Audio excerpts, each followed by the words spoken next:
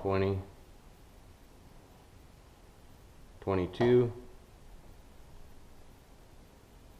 nineteen point six,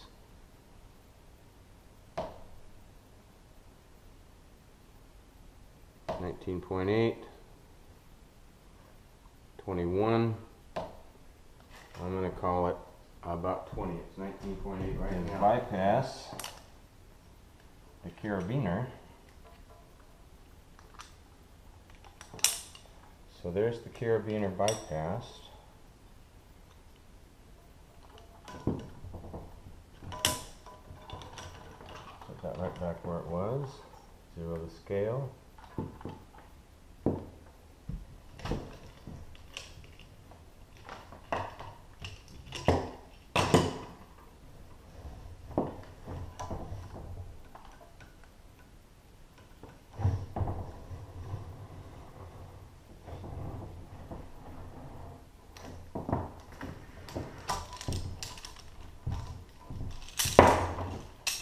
Okay, carabiner bypass, now we see forty-seven. Forty-seven. Forty-four. Forty-two. Forty-five. Forty-three. Forty-one. Forty-two. Forty-two, so forty-two.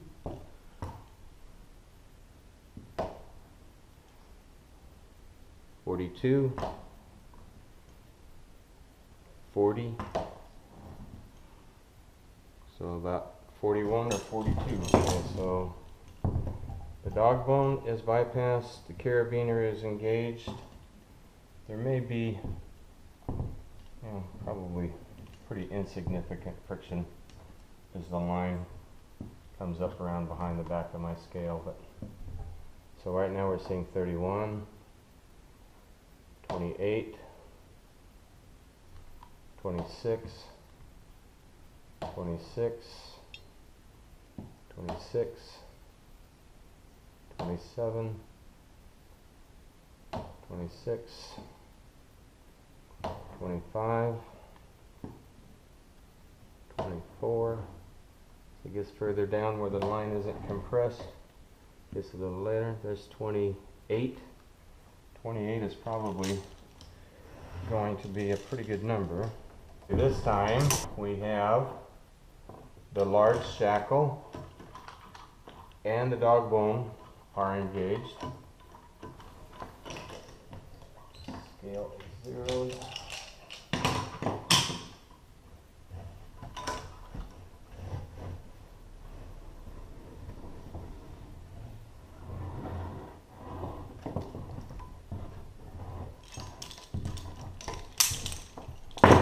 Alright, so once again, it's the large shackle and the dog bone. And we are seeing 16.8, 18, 19.4. Okay, there's the shackle engaged and the dog bone is bypassed. And we are seeing 29. Looks like it's going to be running right around, well, there's 25, 22, 23, 21, 23. All right, this is with an 8,800 pound rated shackle from West Marine. And with the dog bone engaged, the shackle engaged, and the hitch engaged and I've lowered the weight and I'm seeing 16 16 18 19 21 19 seems to be very similar what an aluminum shackle does, or an aluminum carabiner does. Not supposed to use them because it'll tear them up on the metal, but just kind of curious.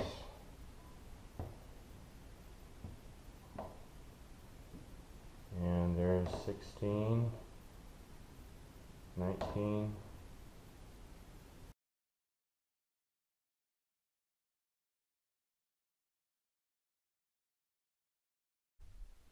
This is set up in the traditional DDRT system. Uh, unlike when we had a DDRT system with one leg connected to the hitchhiker and we saw that we had to bypass the carabiner or the shackle. In this case we have the climber attached to both legs of the doubled system and so the hitchhiker is only seeing half of the load and it applies uh, its percentage of friction along with the uh, dog bone. And because it's only applying 50% uh, of the load it's taking a percentage of only that 50% of the load. And by the time it goes through the dog bone and the shackle it's leaving very little for the hitch itself to do. And that's why it is so smooth and takes such little effort in the traditional doubled rope system.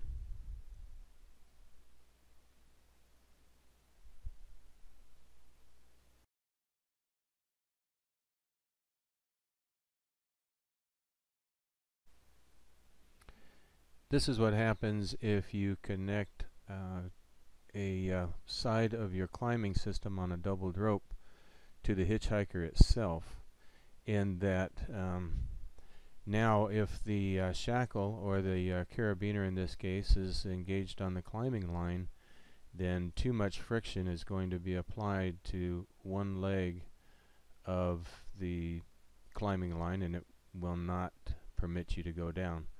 Uh, this is the example of when you have to bypass that uh, carabiner or the shackle in order to make it work.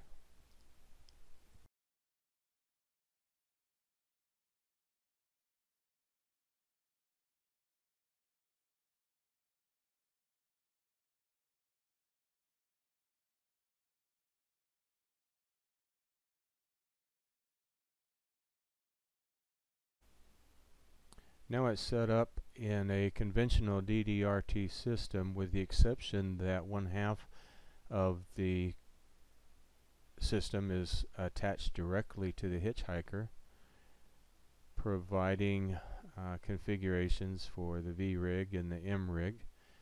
And in this case because the load is uh, being applied to the hitchhiker the lower carabiner or shackle needs to be bypassed and when it is bypassed it uh, functions just as a DDRT system would uh, with the additional friction of the dog bone and I found it left only about 11 kilograms uh, left to be uh, carried by the hitch itself making it uh, very smooth.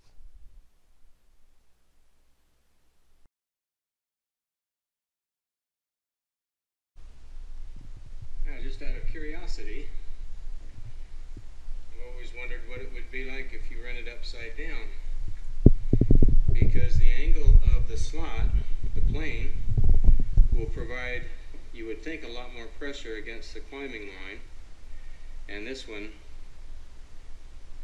less. But um, this providing more pressure against the climbing line, be interesting to see like the rope wrench, the hitchhiker works by providing a percentage of friction. Never more than, or never, never 100%, or you wouldn't be able to descend. So, if we put the weight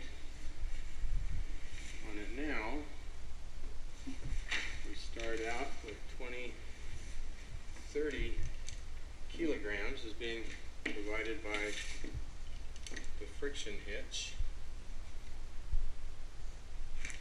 And so as we let that go down,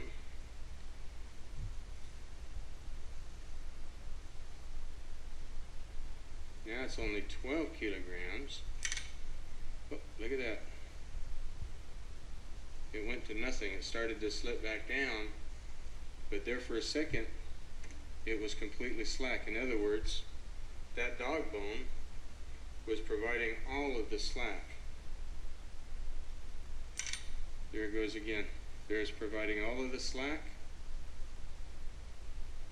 So if you ever installed this upside down for some reason, you're not going to fall to your death, but you might be a long time getting back down out of the tree.